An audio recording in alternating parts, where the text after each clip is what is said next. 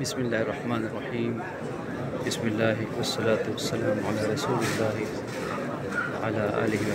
वबारक वसलम तस्लीमा कसीरा कसीरा सत्ताईस रमज़ान मुबारक की शब, चौदह सौ पैंतालीस हिजरी। मदीना मुनवरा अलमसदनबी मस्जिद नबवी शरीफ में इस वक्त कदीम मस्जिद, जिसको कदीम हरम भी कहा जाता है। यहाँ हाज़री है। अल्लाह अकबर। अभी तहजद की नमाज़ का वक्त करीब हो रहा है और आपके सामने ये जो जगह है, इसको बाबुसिद्दीक़ और बाबुररहमा कहा जाता है। सईदना हज़रत अबू बकर सिद्दीक़ रज़ी अल्लाह तन से मौसू है।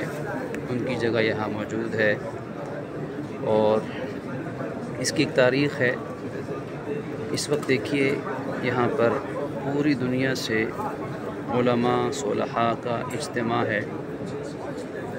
तमाम दुनिया से लोग मौजूद हैं। पूरी मस्जिद नबी शरीफ के अंदर खूब रश है, माशाल्लाह, उम्मत मुस्लिम खूब मौजूद है, ताकि तमाम रास्ते तक बंद कर दिए गए हैं। और ये इस वक्त हरम कदीम के अंदर आप देखें, सूरत हाल लोग इबादत में, तिलावत में, दुआओं में इस्तफ़ार के अंदर मशगूल हैं।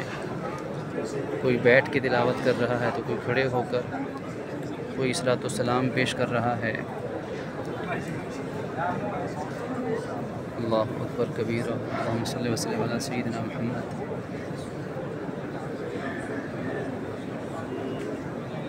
और ये घड़ी है, कदीम इस पे दो तरह के वक्त हैं, इंतहा और आगाज़ का वक्त है।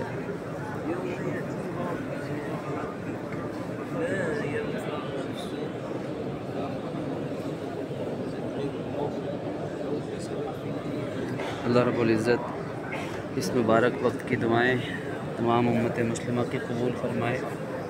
सबको यहाँ की मकबूल हाज़रे की तोफ़ी अता फ़रमाए। पूरी उम्मत मुस्लिमा के लिए दुआ फ़रमाए कि अल्लाह रब्ज़त अपनी उम्मत मुस्लिमा के लिए ये जदीद मस्जिद भी आपको दिखाई दी अभी। परगार आलम हाजिर कबूल फरमाए और माह रमज़ान को, इस मुबारक घड़ियों को जितना वक्त बाकी है, इस वक्त को कीमती बनाने की तोफ़ी अदा फरमाए। आज नमाज़ जुमा के इज्तम में इमाम साहब ने, ख़तीब साहब ने यही बात फरमाई कि चंद गिने चुने दिन रहते हैं और इनको कीमती बनाना चाहिए, तिलावत से, दुआओं से इस्तफ़ार से एक एक लम्हा कीमती बनना चाहिए। शब कदर की तलाश में रातों को इबादत करनी चाहिए। कुरान मजीद को मज़बूती से थाम लेना चाहिए। और जितनी चीज़ें इस राह में रुकावट हैं, चाहे दुनिया की दौलत हो, चाहे वो जदीद ज़राए हों, चाहे वो मोबाइल हो, सोशल मीडिया हो लहो लाभ के तरीक़े हों, लायानी बातें हों, इन सबसे अपने आप को बचा कर इस वक्त को कीमती बनाना चाहिए ताकि रसूल अकरम सल्लल्लाहु अलैहि वसल्लम की वो जो दुआ है कि जो माह रमज़ान को पाए और फिर भी इबादत करके बख्शिश ना करवा सके, वो खाक आलूद हो, वो हलाक हो, इससे हम महफूज हो सकें। और जो जब ये रमज़ान गुज़रे तो परवरदिगार आलम के खुश नसीब बंदों में हमारा शुमार भी हो जाए।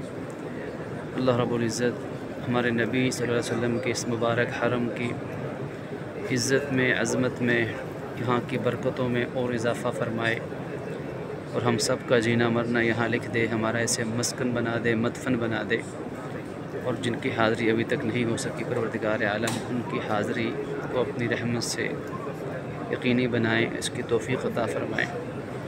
तमाम अहबाब से दुआओं की दरख्वास्त है। अल्लाम वरहमल वर्का